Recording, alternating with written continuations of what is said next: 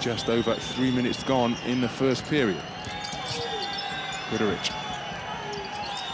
Sean Pierre fakes, goes up strong and the baseline jam in a crowd of Baskonia defenders.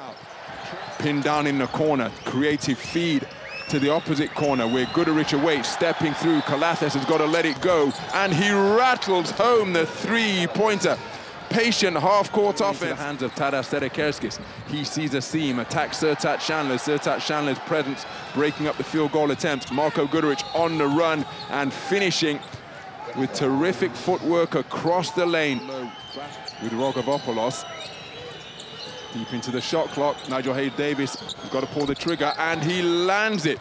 Nigel Hayes-Davis under pressure. With his second offensive board of the game. Howard, flat pass to Nico Mannion. Strings the three-pointer. Nico Mannion, floater in the lane, fights for his own offensive board. Tadas Sedekerskis picking it up at ankle height.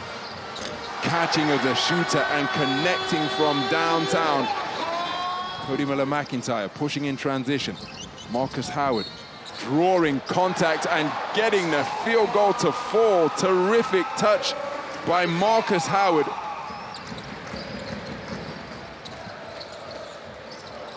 Markus Howard clobbered on the three-pointer on the undercut from Marko Guduric, but he makes no mistake.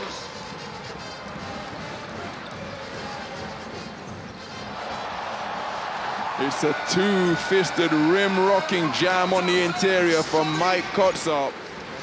It's Markus Howard one-on-one -on -one with Dyshawn Pierre. Takes him off the dribble.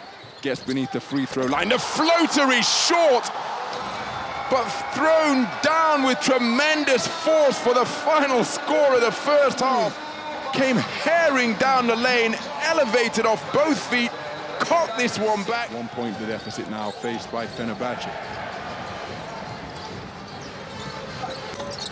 Rattling home that line drive three start this final quarter for Baskonia. Markus Howard goes behind the back. Guduric trying to stay with him, shakes him off by stopping on a dime and then drilled the pull-up three. Catch Yam Madar, shot clock in the red. Deflected by Codi Miller-McIntyre. Fenerbahce have got to pull the trigger. They get it away to beat the shot clock.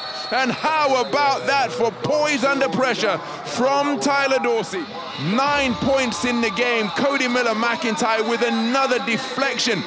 But they execute the first order of business by executing efficiently. Markus Howard, pull up three, fouled in the act of shooting, and will go to the free throw line looking to act one more, add one more. So seeking to complete two four-point plays is Markus Howard on what has been a remarkable shooting display. It's a one-point lead for Baskonia. Marko Guduric, deep three-pointer, and it's in and out. And at the death,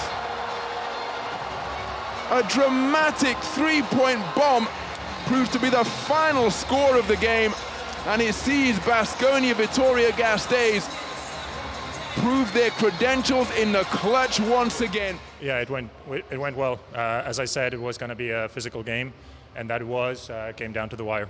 Obviously, one shot made the game out. What do you think were some of the keys to get this victory?